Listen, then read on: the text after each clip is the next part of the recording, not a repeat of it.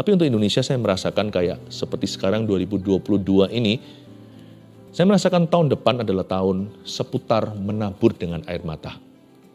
Ya, tahun depan adalah tahun kita harus extraordinary doa. Doanya itu luar biasa. Jangan biasa-biasa jadi orang.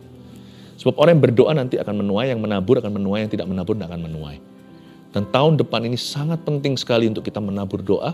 Tahun 2023, karena ini tahun peperangan rohani, sebab akan terjadi banyak pergeseran di tahun 2024 saya merasakan seperti ada ada great shifting. Jangan terkejut di setiap sektor, setiap bidang akan terjadi perubahan besar. Misalnya di dunia ekonomi atau ekonomi bangsa. Jangan terkejut kita akan melihat orang kaya lama menjadi orang miskin baru. Atau orang miskin lama akan menjadi orang kaya baru. Ini kalau bicara dalam bidang ekonomi. Demikian pula dalam gereja, kerohanian, Anda akan kaget.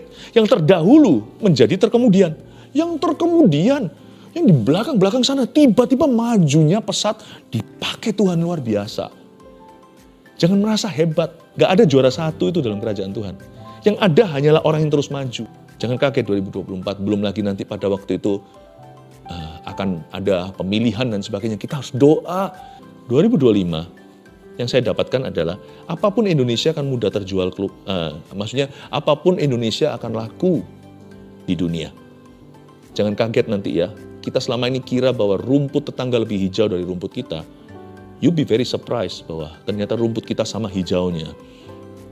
Ini kalau untuk Indonesia ya, saya dapatkan nubuatan seperti itu yang saya terus sampai hari ini uji dan doakan.